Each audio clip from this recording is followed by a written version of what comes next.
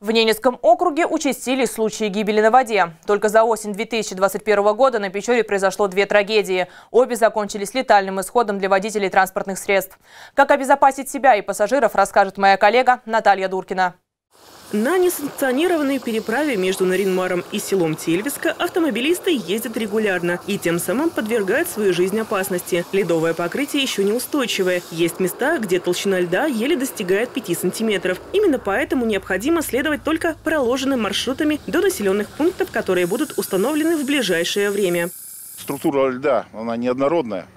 Вот, в местах, где слабое течение, он нарастает уже и до 20 сантиметров, и до 30 в некоторых местах. Но в местах э, с э, сильным течением, в местах, где выходят э, подводные течения, значит, там толщина льда в некоторых местах и до 5 сантиметров. Вот, все сейчас припорошено снегом, поэтому визуально это обнаружить невозможно. Также стоит остерегаться мест, куда попадают теплые воды. Это касается очистных сооружений в городе и поселке Искателей. Согласно постановлению главы города и Заполярного района, вот, можно выезжать на лед на снегоходной технике, снегоболотоходах после достижения льда 16 сантиметров по установленным маршрутам. Вот. Э, на данный момент, э, по данным ОГМС, толщина льда составляет 17 сантиметров. Но, как мы видим, вот находимся мы на э, несанкционированной переправе село Тельвиска, вот, машины уже идут здесь. Вот. Видительная просьба ко всем гражданам соблюдать законодательство.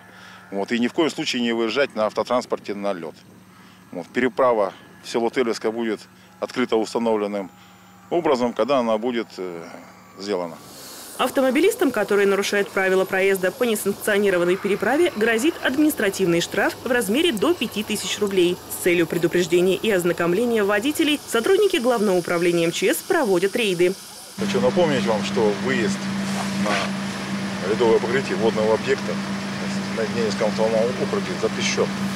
Что касается толщины льда, то она остается на прежнем уровне. Толщина льда на протоке Городецкий Шар в районе города Наринмар на сегодняшнее число составляет 17 сантиметров, снег 14 сантиметров. При средней многолетней норме на это число 34 сантиметра. 23 ноября 2020 года толщина льда оставалась на том же уровне 17 сантиметров. Наталья Дуркина, Владислав Носкин, телеканал «Север».